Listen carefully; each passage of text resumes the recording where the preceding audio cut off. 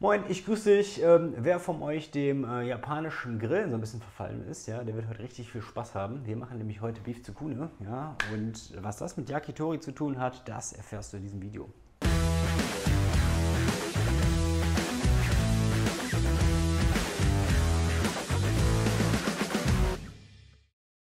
Was diese Fleischbällchen so geil macht, das zeige ich dir jetzt. Wir machen nämlich kleine Tsukune, ja, Yakitori Style. Ja. Warum Yakitori Style? Weil Yakitori eigentlich gebranntes, gebratenes, gegrilltes Hähnchen heißt und wir mit Beef arbeiten. Deswegen, ne, Hähnchen, Beef, Yakitori, ja, passt nicht ganz so, aber wir gehen in die Richtung. Deswegen dürfen wir das 8 nennen. So, und das machen wir. Als erstes machen wir eine Gewürzsoße für das Beef, ja, und die könnten wir jetzt einfach mal Yakitori Tare nennen, ja, und die wird eigentlich gekocht, äh, ein bisschen länger. Ähm, ich will das jetzt hier nicht zu lange hinauszögern, ne? deswegen mache ich das ein bisschen schneller. Und habe hier so ein bisschen Sojasauce, eine helle Sojasauce, die gebe ich einfach bei mir ins Schälchen rein. Dann habe ich hier ein bisschen Merin. Ja. Merin hat eine schöne äh, süßliche Note, ja, Merin, süßer Reiswein, äh, passt perfekt dazu. Und äh, dann habe ich hier noch eine gute Prise Zucker. Und jetzt denkst du schon, boah, das wird aber richtig süß. Tatsächlich hat äh, die Yakitori-Soße generell natürlich eine schöne süße Note. Finde ich passt aber ganz gut dazu. Ja? Könnt ihr auf jeden Fall machen. Und das ist so wirklich der Inbegriff einer ganz schnellen Yakitori-Tare. Ja? Normalerweise machst du jetzt noch Sake rein, kannst du auch noch mit Knoblauch und Ingwer arbeiten, machst den Topf, reduzierst das so ein bisschen runter. Ja? Nicht zu sehr, musst du immer aufpassen. Die Sojasauce, die wird irgendwann knabbert die an der Salzigkeit. Dann kannst du das nämlich nicht mehr im Mund nehmen, ne? dann spuckst du das nicht mehr aus. Deswegen Piano. Ich halte es jetzt erstmal ganz einfach. Ja? Das heißt Sojasauce, Mirin, ja, süßer Reiswein, bisschen Zucker und wenn ihr wollt, wie gesagt, ein bisschen Sake. So, klassisches Yakitori, natürlich, ist in Japan ein Bombenbegriff. Ja, das ist wie wenn du bei uns hier in eine Schnitzelbude gehst, ja, oder Currywurstbude. So, nur besser und anders bei denen. Ne? Wobei man muss natürlich auch gucken, was man mehr mag. Ne? Aber Yakitori tatsächlich, ne? du hast diese elendlangen Yakitori-Grills, ja? die werden dann mit Binchotan-Kohle, ja? das ist von der Steineiche eine Kohle, die man sehr hoch erhitzen kann, ja? wird es angefeuert. Und dann werden aus verschiedensten Hähnchenteilen werden so kleine Spieße gemacht und die werden gegrillt. Unsere Fake-Yakitori-Version, ja? unsere Tsukune, die äh, machen wir ja heute mit Beef. Und da habe ich jetzt hier die Yakitori-Tare angerührt, ja? das ist quasi unsere Gewürzsoße. Und da geben wir jetzt erst zwei Teelöffel, zweieinhalb Teelöffel dazu. Dann habe ich hier eine Frühlingszwiebel, ja. Und da schneide ich mir wirklich ganz, ganz feine Ringe raus. Wobei ich mir das oberste Grüne, das lege ich mir nochmal zur Seite. Das kann ich mir später drüber streuen. Ich will mehr hier das, das Hellgrüne haben, ja, das so ein bisschen zwiebeliger schmeckt. Das passt nämlich gleich richtig gut hier in unsere ähm, Bällchen rein. Und ich kann mir gut vorstellen, auch für die Zukunde-Bällchen gibt es verschiedenste Rezepte. Ähm, wobei wir ja hier nicht mit so vielen Zutaten arbeiten. Ähm, ich weiß, viele Leute benutzen noch Shiso-Blätter dafür. Ich lasse die weg. Gebe jetzt hier schon mal die äh, Lauchzwiebel mit rein. Dann habe ich hier noch ein bisschen Knofi. Ist auch definitiv kein Muss. Ich finde es aber irgendwie ziemlich cool. Das passt einfach richtig gut da rein. Ähm, wenn du jetzt die Yakitori Tare kochst, ja, kannst du auch mit Knoblauch arbeiten. Dann kannst du das hier sparen. Ja. Gar nicht so viel. Anhacken, Jetzt habe ich hier ein bisschen was von unserer Gewürzsoße dran, ja, unser Yakitori Take, Merin, Soja, Knofi ist dran, ein paar Lauchzwiebeln sind drin. Und jetzt habe ich hier noch ein bisschen Misopaste, ja, und ich habe hier ähm, eine sehr junge Misopaste, das siehst du daran, dass sie so hell ist, das ist eine Shiro-Misopaste, ja. Das Schöne an der, die hat auch einen sehr süßlichen Geschmack, die ist nicht so kräftig. So, und das sind unsere Grundzutaten, das ist alles, was in unsere Zukunft reinkommt, ja, das ist unsere Basis und daraus machen wir uns jetzt gleich die Fleischbällchen. So, ich habe zwar schon Soja und Miso drin, ja, aber eine kleine Prise Salz kann trotzdem nicht schaden, ja. Und wir haben jetzt hier gleich noch die, die restliche Yakitori Tare, ja, und wenn wir die gleich fertig gegrillt haben, können wir die damit nochmal richtig schön einpinseln, ja. Dann kriegen die erstmal A, einen richtig heftigen Glanz, ja, also die Bing, ja, und wenn du die in die Sonne hältst, dann musst du eine Sonnenbrille aufziehen, weil sonst bist du blind und braun. Ja? Und wenn ihr euch jetzt fragt, das ist ja hier, was hat denn da stehen? Das ist ja Pankomehl, das ist richtig. Eingefleischter Liebhaber der Yakitori-Küche, wirst jetzt beide Hände vor dem Gesicht zusammenschlagen und sagen, um Gottes Willen, Junge, was tust du jetzt da? So. Und ich gebe dir recht, ja, weil Pankomehl kommt eigentlich nicht in diese Zucchini-Bällchen rein. Aber normalerweise arbeiten wir auch mit Hähnchen.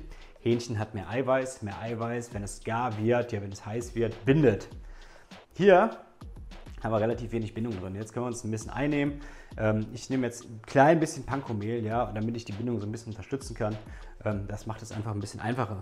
Cool, cool, das macht es einfach ein bisschen einfacher. Das ist der nächste Titel von meinem Kochbuch. Das macht es einfach ein bisschen einfacher. Wenn du jetzt denkst, Mensch, das Pankomehl hat ja gar nichts gebracht, die Masse sieht ja genauso aus wie vorher.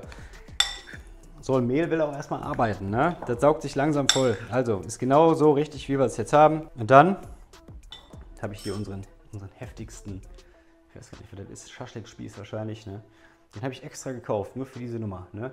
Weil ich finde Hackfleisch um Spieße, die rund sind, den drehst du den Spieß, aber der Hackfleischbällchen denkt sich so, nö, ich bleib da, wo ich bin.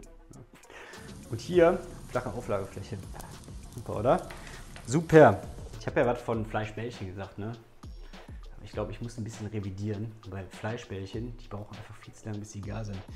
Ähm, deswegen mache ich die Dinger so ein bisschen oval, so ein bisschen eiförmig, ja?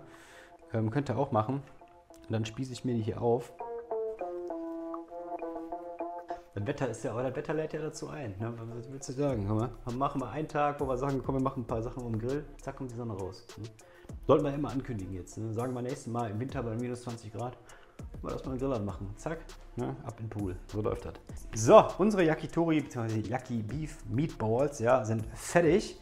Und die kommen jetzt auf den Grill. Ja? Tut euch einen Gefallen, Nehmt Holzkohle, come on. Ja, hast du ein bisschen, bisschen Raucharoma noch mit drin, schmeckt einfach besser, ist auch ein bisschen authentischer zur japanischen Küche. Ich glaube, ich habe sogar noch ein bisschen Shotankohle da. Die kann ich dann auch noch nehmen. Und dann würde ich sagen, sehen wir uns gleich wieder. Bis gleich unsere Yaki Beef Balls, ja, die sind jetzt gleich fertig auf jeden Fall. Ich habe auch einen Teil Windschotan-Kohle genommen, ja. Abgesehen davon, dass die Kohle super heiß wird, ne, ist es auch so tatsächlich, dass gerade beim Yakitori, ja, wenn was von dem Fett auf diese Kohle tropft, ja, dann äh, räuchert das quasi das Fleisch nochmal auf eine ganz bestimmte Art und Weise. Und deswegen solltet ihr mal schauen, dass ihr die bekommt. Ihr könnt die auf jeden Fall online bestellen, das ist gar kein Problem. Ihr müsst die auch nicht ausschließlich nehmen, ja. Ich mache mal ganz normal Holzkohle oder Brickheads und dann lege ich mir so zwei, drei von den Stücken dazwischen.